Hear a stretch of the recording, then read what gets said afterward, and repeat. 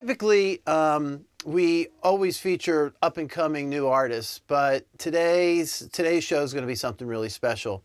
Um, I was at a conference just the other week uh, in Columbus, and I, one of the panelists was was interviewing, uh, was listening to some young kids' uh, work, and he goes, um, "You know, what you really have to do is study the masters," and and it really rang true to a lot of people in the room.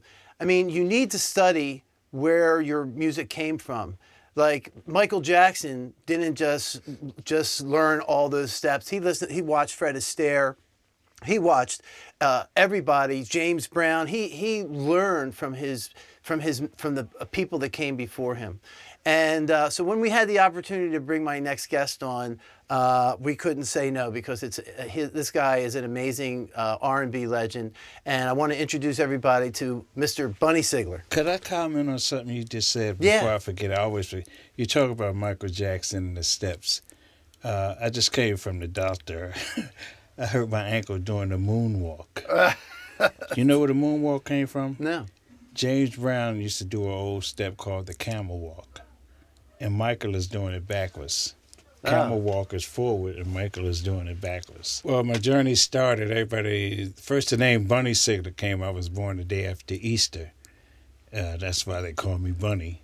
Great. When I was born, Bugs Bunny wasn't big, so that's why I didn't get the bugs on it. but uh, I woke. I've been singing. The, the earliest thing I can remember in life is singing. You know, everybody has that memory. I remember singing little, whatever it was, and then going up through church and uh, never knowing I was going to be a writer. You know, uh, I knew I was going to be a singer at ten years old. You never know what's going to be the hit. That was just a filler song.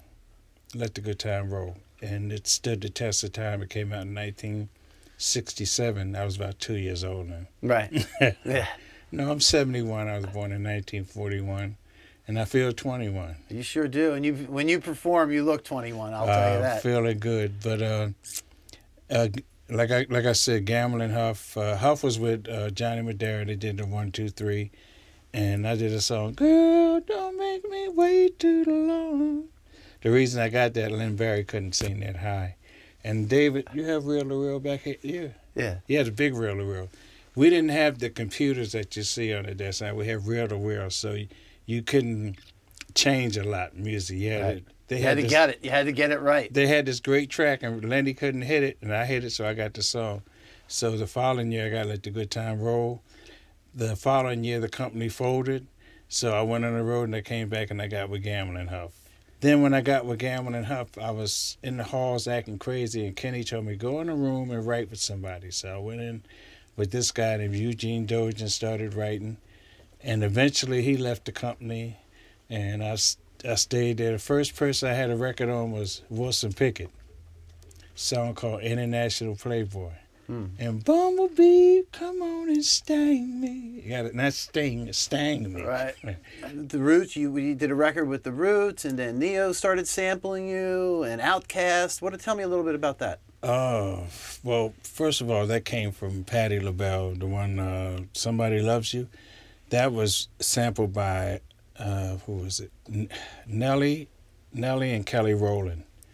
And I, I think it did like 8 million copies, Mhm. you know. And then Outkast did the same record, but they did a different part of it, but it was still the same. I paid, paid for both of them Mm-hmm. and uh, the uh, one that Outkast did was on Madden's uh, the football thing. Mm-hmm.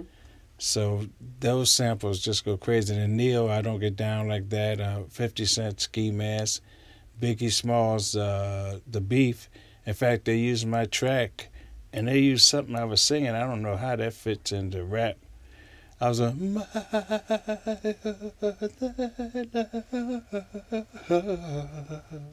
which reminds me that's something like I did on and you never know. Right. I was explaining this to I had an interview with a guy in over in England. He said, "What is that?" I said, "That's soulful yodeling." I said, "It's not but it's no." You have to tremble in your throat the same way, but it has to have a soulful overtone. Well, uh, I really thank you, Bunny, for doing this show that's coming up. Um, you're going to see it uh, in just a bit. um, Bunny is an amazing performer, which you will soon see, and uh, we're very fortunate to have you here. And I thank you very much. And uh, anybody wants to check out his new record, Bunny Sigler, from Bunny with Love, please do so. It's available on iTunes and everywhere They else. go to www.bunzmusicandrecords.com.